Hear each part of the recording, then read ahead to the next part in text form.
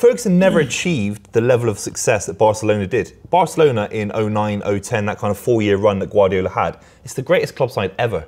I don't think anyone would ever say the treble winning side, even though it's amazing for Man United fans. That wasn't the best no, side to no, ever no, come of out of course Europe. That wasn't. That wasn't a generational side. That side won three in a row what kind of and the Champions? League. 4-4-2. And a lot of those players went on to win another. You were, you were knocking it long Cup 4 nine 4 years 2 later. to, to Dwight Yorke and all that. Nah, I, I'm talking about the knocking it long. philosophy of, of Johan Cruyff and getting Messi to play as a false nine, scoring 91 goals in a Yeah, calendar Messi year. carried my man. He hasn't won a Champions League without Messi.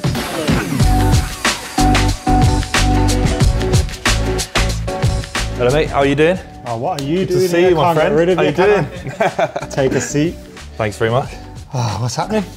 Yeah, I'm good, mate. FA Cup final. You ready? I'm gassed. Yeah, we've, Destiny we've, awaits. we've been here before. We won a few trophies in the last few years. It's a rarity for you to be in a final, so you I should mean, be gassed. I mean, I mean, we've been in one in February. Yeah, and, yeah. And this one is huge. And I know City are going to be massive favourites, but Yeah. like Jose Mourinho said, sometimes football heritage is important. that is true. Yeah, And, yeah. uh, I think it will count 100%. here at Wembley. For sure. Not one Manchester United player would get into the City starting 11. Three, two, Highly City. one. How far off the table can I go with this, mate? can I go a quarter off the table? I don't want to spare anything, but I'm going as far off humanly possible as that, okay? You're a very good team, but I disagree. Well, who gets in? I think Marcus Rashford could play for Oh, City grow up, quite man. easily. Marcus Rashford could play for City quite No, easily. he'd, he'd get in the stadium. I'd give him a ticket. and you've got to remember, you, what you've got to remember, yeah, is that these players would be coached by Pep as well, and they would have Yeah. been coached by Pep Yeah, for yeah. the last three or four This years. is this is a one-off so situation. you've got to put that into the scenario. Jack Grealish plays on the left for us. I take him Jack every Grealish, day. He's far more use that intelligent than one to run him out of town Not about me. a year ago. Not me. Not 100 me. million down the Not me. drain. No, that was that was uh, pundits had no idea about Man, Man City fans love Jack Grealish.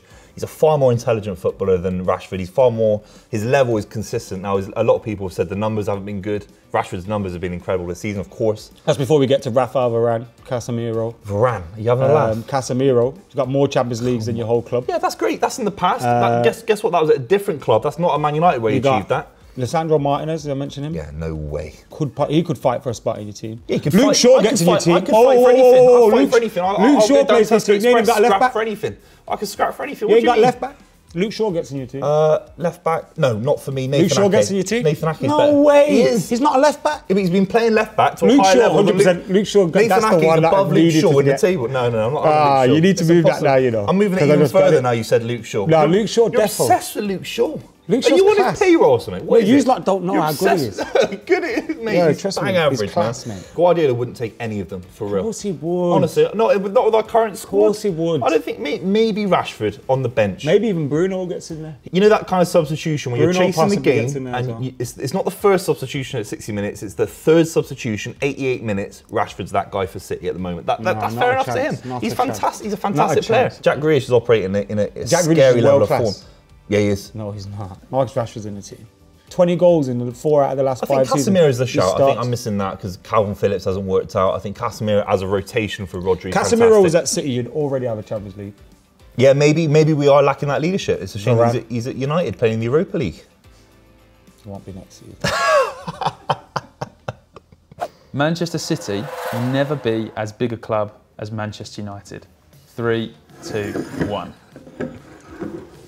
I think you have to say that. Let me go first because Otherwise you I'm get not- run out of I'm- town. Yeah, I'm not going to sit here and say City are a bigger club than Man United now. I'm not saying it would be a five-year process, even a 10, 15-year. It would take 20, 30 years. But the only thing I'm saying is, uh, football is a long sport. We're going to be hopefully alive for you know decades to come. And if City win multiple Champions Leagues, it took Alex Ferguson a long time to win his fir- first trophy. You hadn't won a league for decades up to that, had you? Hmm. So all I'm saying is history's there to be written, and the narrative of United being a massive club, it will always be there, of course. But things can change in the future. That's what I'm going to say. I think you got a good, good point, especially like European Cups and things like that. Those things can change quickly. If City win the European Cup and then win a couple more, you start to look at things. But in terms of like that, those words again, that football heritage, and you got to take into consideration United's ownership possibly going to change, potentially have new owners who will get Manchester United challenging again.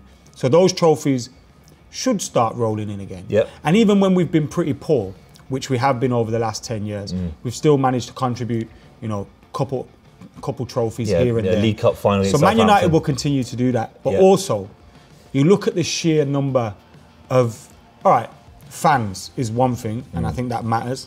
But also, like, just look how many people care about Man United.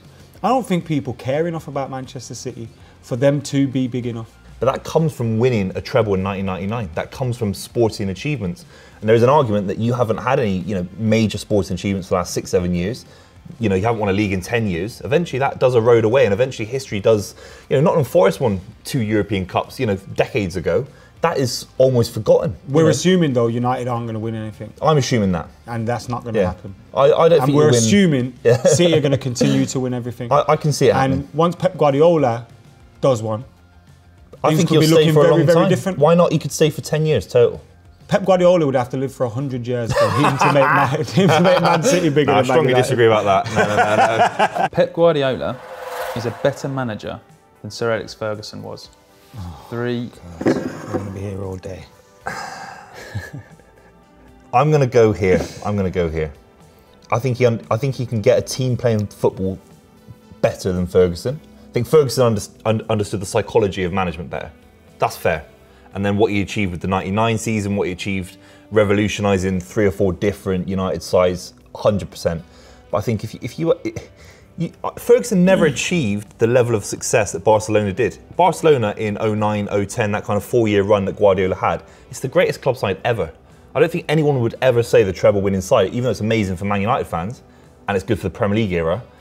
That wasn't the that wasn't the best no, side to ever no, come out of Europe. That wasn't that wasn't a generational side. It's one of them. Is of course, it? it's a generational Is it, side. is it the Can you believe Milan what you just said? I don't think it is. I It's don't- a generational side. It's a, if what that it side won three in a row what kind of and the Champions? League. 4-4-2? And a lot of those players went on to win another. You were, you were knocking it long 4 4 nine 2 years to, to Dwight Yorke and all that.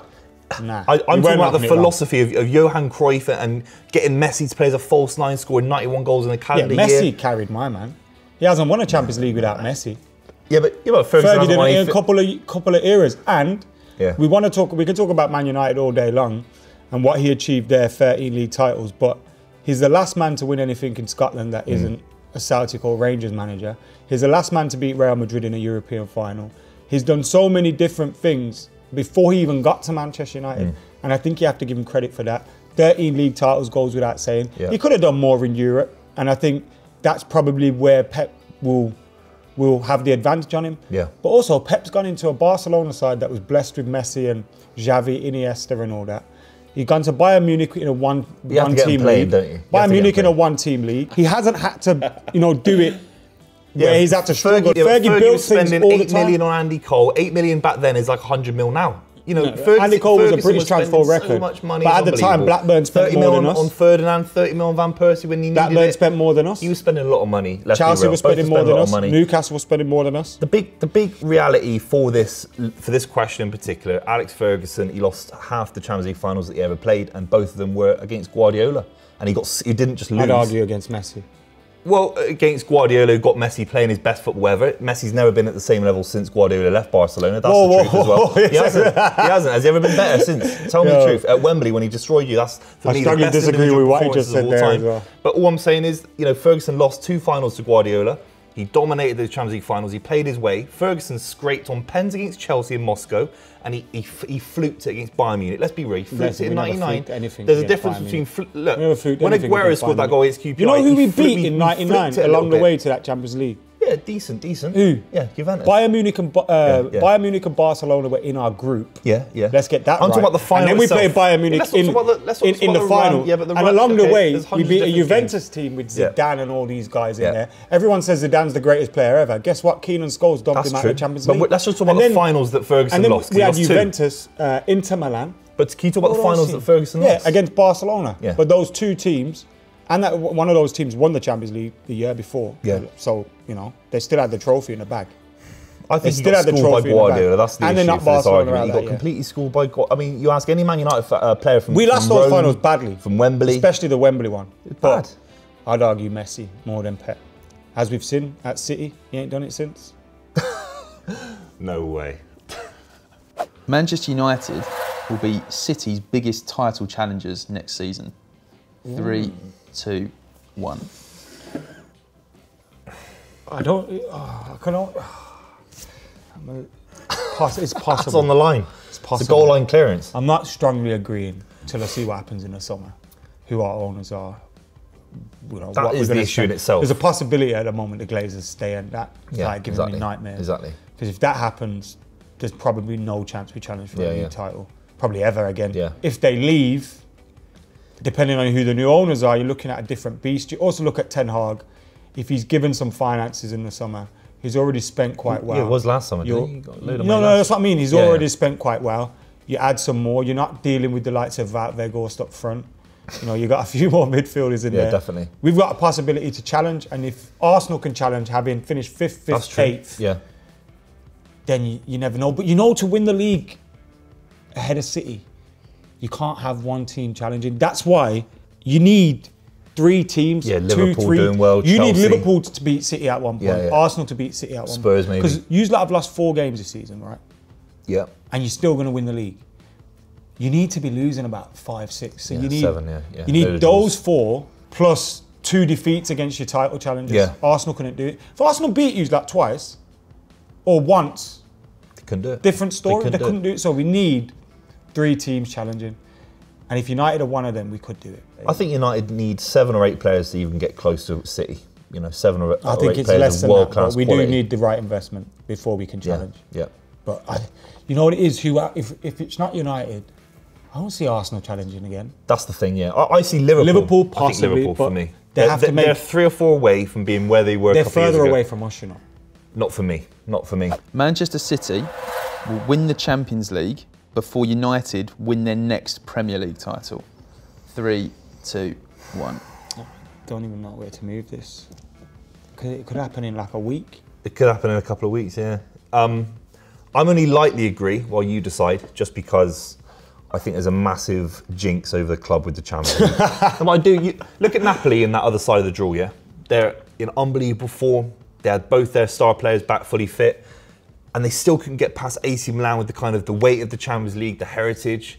And being a City fan, as much as I think we've got the quality for the last, even for the last five years consistently, people have said you're one of the favourites to win it. You should be winning it. I can't disagree with that. With the money we've spent, of course. But there's, there's, a, there's a weird hoodoo around the club. There's a weird weight that other clubs, even Chelsea, had that expectancy of getting to the Champions League final, playing ugly, and still winning it. And City have got a massive hurdle to overcome that. It feels like an England fan. You know, when an England, hmm. you know, England squad goes to any World Cup where we feel that we're favourites, we bottle it a little bit. And that European trophy for City is a hard thing to sort of become a new Also, European the cup champion. competition is difficult. I remember when I was younger, early 90s, when we started winning things again, we got knocked out to Monaco, Dortmund, like Bayer Leverkusen in 2000 something when the final was at Hamburg. Like, I know that was after, but just before Fergie won it, we went out against teams that we shouldn't have gone out to. So I've, you know, you kind of see that a lot because it's a cup competition. Yeah, Anything two can happen in those games along the way. Yeah. So I'm disagreeing more out of hope than expectation. Yeah, I- I, I have to put, I have to back that eventually, like, because eventually the, the money and the quality of signings that we made, it's not just about money, as we know with Chelsea, for example. Look, within a couple of years, we won the Premier League. You know that, that the quality that we showed against uh, Man United in the FA Cup semi-final in 2011. Yeah, that was the, the weight of that quality got us over the line. And uh, you have to say somewhere along the line, Erling Haaland scoring 50 goals. It has to count to something. Yeah. Do you know what I mean? It has to somewhere. Hopefully not. You know, it did for so many other strikers. So hopefully it does for. And for us. also, realistically, usually I'm more closer to winning the Champions League than we are the Premier at the moment. I think at the we moment. yeah. But a good summer. Who knows? know. This Manchester City side is the best side in Premier League history. Three, two, one. Oh, we're close yeah. then. Yeah, we're a lot closer. Um, It could go down as it though. Yeah. Well, not it. One of. yeah. It could potentially get near there. But at the moment, until you have all the marbles, Yeah, you need the trophies. Um, I think the Centurion season is, is better than this current season, uh, this current side this season. I think they've also been better City teams in the fact that, in terms of the football that you play, Yeah. in terms of, like, you know, when you went up against that Liverpool team, Yeah. that was more impressive than going up against this Arsenal team. Definitely. Because everyone's Definitely. gone, Arsenal going to crumble. Yeah. Like Arsenal played Yeah. against City, lost Yeah. every single time. Yeah. Against Liverpool, they, you know, you lost some of those games, you won some of those games. It was a more even battle, and maybe that was more impressive. And this, but then if this team gets all three trophies, or even maybe does the double, Yeah, the double. because be then it's incredible. gone three in a row. Yeah, 100%. And three in a row is important. Yeah. Do you know what I mean? Yeah. Um, So it could go down as one of the greatest, but until you get that European Cup, you can't chat No. to 99 Uh, United and 08 United. I, I, all I can say though, when I don't look at the cups that we haven't won in terms of the European Cup, is is just the way we play football. I think if you get 100 points in a Premier League season, the balance, the pace, David Silva, Fernandinho, for me that was a lot more well-rounded. Even Kompany was in that side, a bit more leadership at the moment. Obviously, City could go on to win a treble this season. Also, like there was like a couple months where City were getting questioned when they were trying to find their feet. I know they have found their feet now, Yeah. but it hasn't been the free flowing City throughout the season. Although you can say they're not always that way at the start. You know, they're always at the start don't- slowly. I, little. can't think of a single team in Premier League history that's been completely. I mean, even the Invincible side, you know, they didn't win anything in the They cups. drew about 20 games. Drew a load of games. So I can't think of a side from begin from August to May. United used to start slowly as well. It's hard. It's hard. You've got to finish strong. Um, but if the City side finish with a treble, they're right up there with how we play Then the they're game. then they're in the top three teams. I'll take that. Then they're in the top three teams with 99 and 08. Where they are, I don't know, but I agree with that one definitely. we'll discuss that at the end of the season. Winning the FA Cup is no longer a major achievement for a so-called Big Six club. Yeah, that's whoever wrote that question. I'm glad you said that, you know. Yeah. Yeah. I love the FA Cup more than the Champions League almost in terms Ooh. of no, but in terms of what it means But to I me do love the FA emotionally. Cup. Yeah, the FA I Cup love the is FA it's, Cup. it's the oldest cup competition of its type of its type in Europe. The FA Cup's incredible. Mm. I love it. I've loved it since I was a kid. I remember the 94 Cup final, 96 Cup finals. Like those are some of my earliest footballing memories. The FA Cup's still important. Yes, To it's me- more important than the League Cup. and I think not everyone can win the Champions League. I think seeing, you know, I know Watford got to the final a few years ago and lost 6 0 to us, but you know, that's a real day out for, for a football club. Do you know what I mean? It's, um, it's major. Both FA Cup semi-finals should not be played at Wembley. Three, two, one. Old Trafford and Villa Park were used a lot in my time. I've gone to old, uh, Villa Park for a few semi-finals over the years. You think of gigs against Arsenal. Yeah, yeah. Um, we beat Watford there once, 4 1. Like, there's just load Uh, Arsenal 1 0. Um, yeah, just bring them back there. It makes Wembley more special. I think the big thing is is fan, you know, the money that fans spend on tickets, especially City. We're talking about over 20 appearances in the last 10 years at Wembley. This is serious money for people, and especially, you know, I don't want to get political, but the kind of, you know, the cost of living crisis that we, a lot of people are facing. You can't justify going to a semi-final at Wembley. Yeah, and then train- expect if you win, train prices to go are back mental again. and everything. Who goes to semi-final without the dream of going to the final?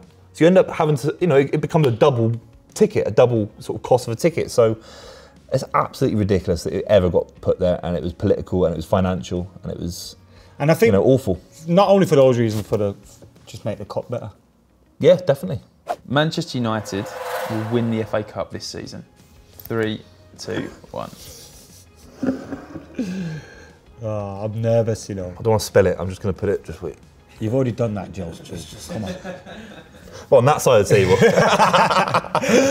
no, I, I, I think obviously a cup final. Anyone, you know, we lost to Wigan, so what can I say? But if we play our way, we've already put six past you at the Etihad earlier this season. We- we've already We'll beat you this season. Yeah, congrats on that. It was a big win for you lot in your season, but we're talking about bigger things for us. A, a treble is on the horizon. You know, There's you're a lot still of pressure on top four. United as well, I suppose, because the players are going to be, especially if you're on, you know, if there's one game after that which could possibly make you treble winners, the United players will know they can't allow that to happen. yeah. Maybe that will bring something out of them. It's going to be a weird game. It's going to be a different game. There's never been a Manchester derby in a cup final. It's a one-off. And again, don't have to beat them. It could just go extra time, penalties. Penalties. You know, Already done it, yeah. It could be done. So I don't know. I've got a good.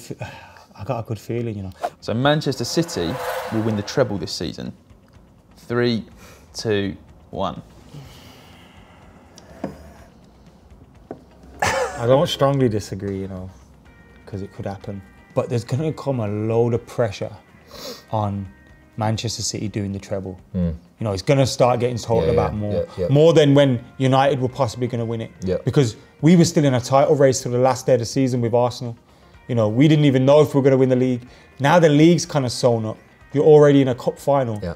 You're three, you're two games away from potentially doing it, and Yeah. the talk's going to ramp up. Yeah. The pressure's going to ramp up, and we've seen in the past in 08, we could have done it. Hmm.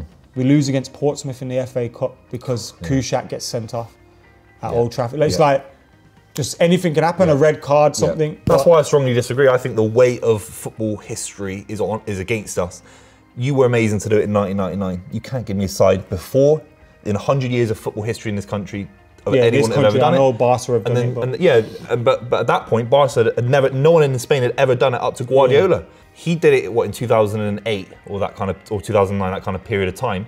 So there's 100 years of Spanish football history that it, we'd never seen it in Spain before as well. So the weight is, is against us in terms of how hard it is to do, uh, and that's why I strongly disagree. Now, if it was purely based on footballing ability, I, I'd, I'd move the glass here because Haaland, Ruben Dias, Rodri, we have a spine of a side that could win a treble. I'm sorry, we do. We have, we have a world-class football I side. can't, especially when you look at the teams you're potentially going to come up against. You know, But when a quarter final against Bayern Munich, Haaland misses a penalty. These are small moments. We did very well to beat Bayern Munich. But in the quarter final, we're already seeing Haaland miss a penalty. There's a couple of niggly moments against Arsenal. We obviously beat Arsenal, but those get magnified in a when uh, you know again you talk about the sending off of Kuszczak for example you know Ederson's got a, a mistake in him Kyle Walker has got a red card in him for sure so that's why I just I disagree because I think it's just it's the odds are against you aren't they good to see you Hmm. Mate nice one. I've not had a sip because I'm uh, I've just been bantering you too much Yeah, I I've know, a sip I, of this know. I think yet. you might need to. But finals coming up. Um, I would wish you luck, but yeah I don't. I what's the don't score know. prediction Manchester United to win two one. I strongly disagree with that Right, we'll see you later. You think your team that you played with can be better than the team that I played with? Yeah. That can't happen. Is this England? Anyone you played with? Oh, oh, oh, fuck. I've definitely won it. No, I don't think. I've got Shearer. I've got the lot. You ain't got Shearer, have you? No, but I got Salah. How would you get him? Fiorentina. Firenze.